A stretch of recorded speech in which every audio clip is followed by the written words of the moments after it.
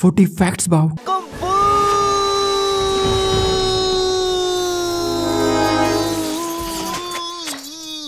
पेंडा जो कि शायद तुम्हें पता हो। लाइक इस मूवी का ओपनिंग सीन और एंड क्रेडिट्स तो ये दोनों ही ट्रेडिशनल हैंड ड्रॉन सीक्वेंस हैं, जिन्हें हाथ से ड्रॉ किया गया था, जो कि ट्रिब्यूट था जापानीज एनिमी को, जिन्हें हाथ से ड्रॉ किया जाता है। और इनके अलावा ये पूरी मूवी टोटली सीजीआई है। और अगर तुमने इस मूवी के एंड क्रेडिट्स को नहीं देखा तो उसमें बहुत ही कमाल की डिटेल्स हैं, जिन्हें मैं वीडियो के एंड में बताऊँगा, क्योंकि पहले बात करते हैं इस मूवी के ओपनिंग सीन के बारे में, जो की पो का एक ड्रीम होता है। और इसमें बहुत ही कमाल की फोर की गई है। लाइक इस ड्रीम में पो को जिस कॉस्ट्यूम में दिखाया जाता है तो यही same costume Po Kung Fu Panda three में पहनता है और ये बंदा जो कि पो को धमकाता है। तो तुम्हें चबाना पसंद है।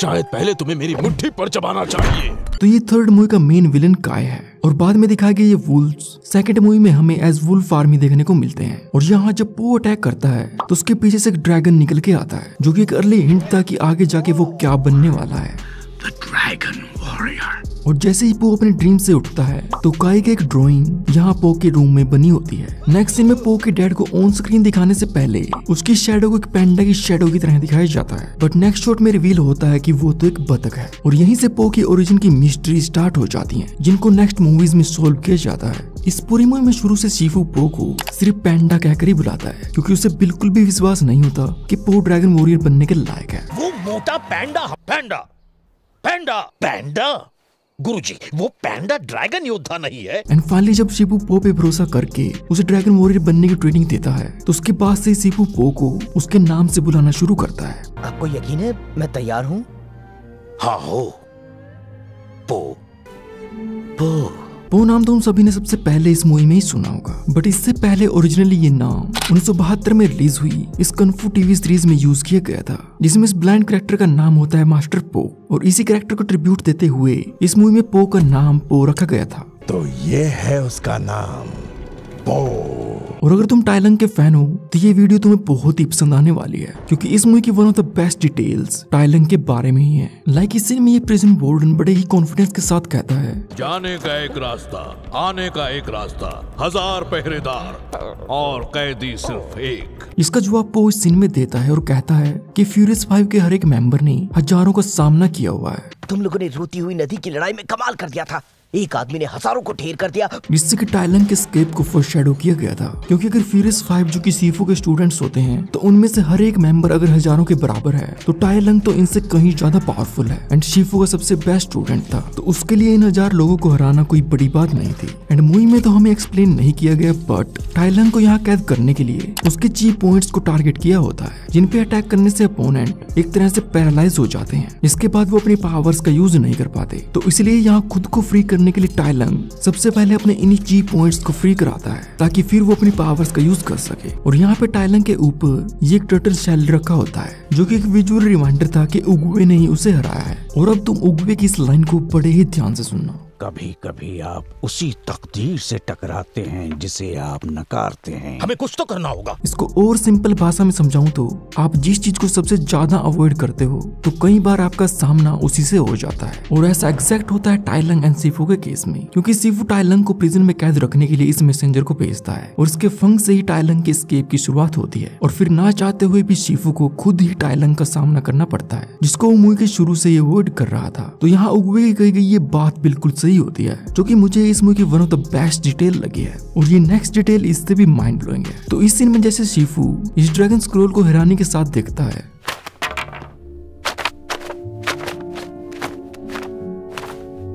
खाली। तो ऐसे ही सेम तरीके से टाइलंग इसे इस सीन में देखता है। इसमें कुछ नहीं है। जिससे कि हमें विजुअली दिखाया गया था कि हाँ टाइलंग को शिफू ने ही पाला है। Like father like son and Tai Lung इस मूवी में ऐसा वन एंड ओनली कैरेक्टर है, जिसकी स्टोरी को मूवी के लिए सबसे ज़्यादा चेंज किया गया था। क्योंकि टाइलंग की स्टोरी शुरू में एक विलन के हिसाब से कुछ ज़्यादा ही सिंपैथेटिक थी। बट बाद में इस कैरेक्टर की स्टोरी में कुछ एडिशनल सीन्स ऐड किए गए। लाइक ये जब वो गाँव पे अटैक करता है और बाद में शिफू एंड उगे को भी नहीं छोड़ता, ताकि ऑडियंस टाइलंग को जिस थाली में खाया उसी में छेद वाला विलन समझने लगे। और विलन की बात तो बहुत हो गई, ये बात करते हैं अपने हीरो के बारे में। ठीक है। रो मत। ठीक है। तो वो यहाँ जेड पैलेस के अंदर जाने के मल्टीपल अटेम्प्ट्स करता है। बट फाइनली जब वो इस सीन में उड़ते हुए फ़र्स्ट टाइम प्रॉपरली अंदर के व्यू को देखता है तो उसके बाद ही मास्टर उगवे ड्रैगन वॉरियर को सेंस कर पाता है। महसूस हो रहा है कि ड्रैगन योद्धा हमारे बीच है। इस सीन में उगवे कहता है कि पो तभी खाता है जब वो दुखी होता है। मेरी समझ से तुम तभी खाते हो जब दुखी होते हो। एंड ट्रेनिंग कंप्लीट होने के बाद पो इस लास्ट डम्पलिन को खाने की बजाय उसे शिफू को दे देता है। मुझे भूख नहीं है। मीनिंग के पो यहाँ बिल्कुल खुश है। और इस सीन में तुमने कुछ नोटिस किया? अगर नहीं तो कोई बात नहीं, क्योंकि ये बहुत ही फास्ट है। बट इस दिन के एक फ्रेम में शिफू को एक बहुत ही बड़ी स्माइल करते दिखाया गया है। रिप्रेजेंटिंग दैट कि शिफू पो की ट्रेनिंग को बहुत ही ज़्यादा एंजॉय कर रहा है। और उसके बाद जब हमें पो एंड शिफू के बीच जो चॉपस्टिक फाइट देखने को मिलती है।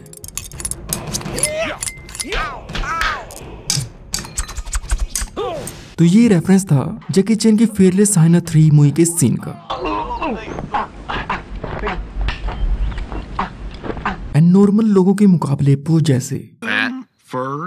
I was gonna say fur. मोटे लोगों और जानवरों में प्रेशर पॉइंट्स को ढूंढना बहुत ही ज़्यादा डिफ़िकल्ट होता है एज कंपेयर टू पतले लोग। और पो का यही मोटापा इस फाइनल फाइट में उसे प्रोटेक्ट करता है जिसकी वजह से टाइलैंड के प्रेशर पॉइंट अटैक्स उस पे काम ही नहीं करते। इस दिन में टाइलैंड पो से पूछता है वो तो एक पैंडा है। तुम एक पैंडा हो। तुम क्या करोगे मोटे दोस्त? मुझ पर बैठोगे? और उसके थोड़ी देर बाद टाइलैंड के साथ ऐसा ही होता है।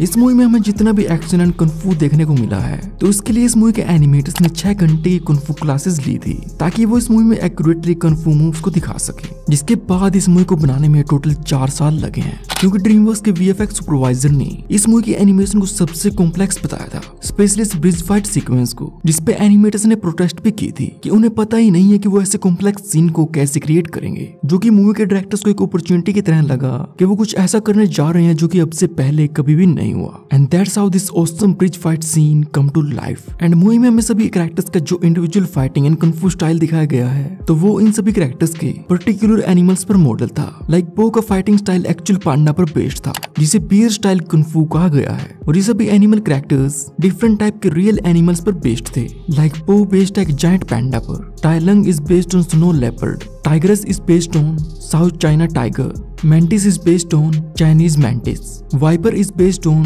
green tree viper. Crane is based on red Ground crane. Monkey is based on golden snub-nosed monkey. Master Ugwe is based on golden Galapagos tortoise. And Master Shifu is based on red panda. Yeah? Yeah? Yeah? Yeah?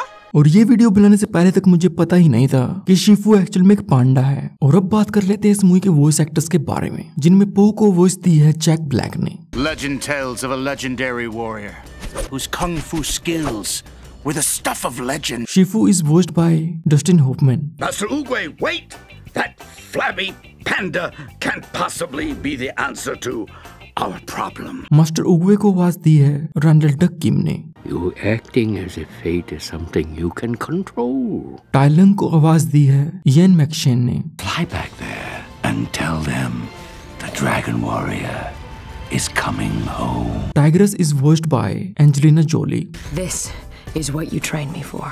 Mantis is voiced by Seth Rogen Finding the right nerve points under all this Fat. fur.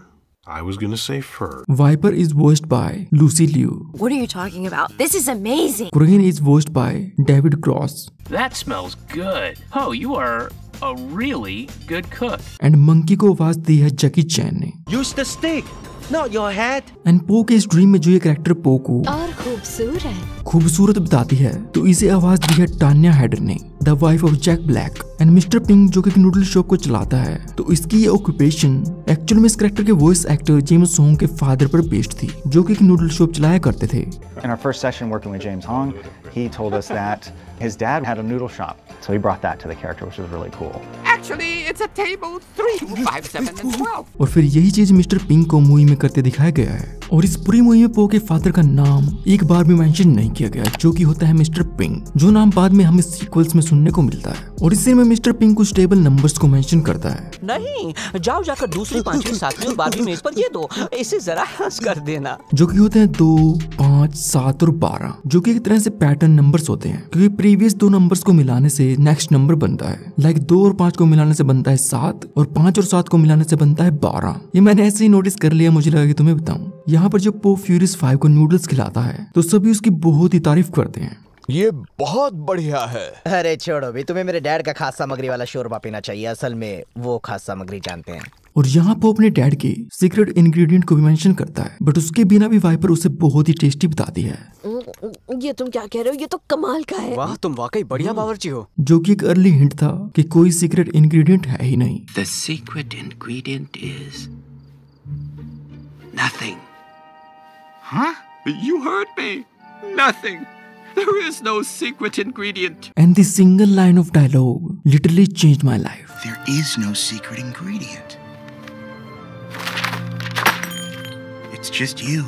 क्योंकि जब मैंने YouTube start किया था तो हर एक नए YouTuber की तरह मैं भी टिप्स ट्रिक्स और किसी सीक्रेट इंग्रेडिएंट को ढूँढने में लगा हुआ था कि कुछ ऐसा मिल जाए जिससे कि मेरी हर एक वीडियो पे हज़ारों, लाखों और मिलियंस में व्यूज़ आए। बट ऐसा कुछ भी नहीं होता, क्योंकि हमें धीरे धीरे खुद पे विश्वास करके, अपनी मेहनत सक्सेस एंड फेलियर से सीख कर खुद को ही एक सीक्रेट इंग्रेडिएंट बनाना पड़ता है। बल्कि तुम खुद हो।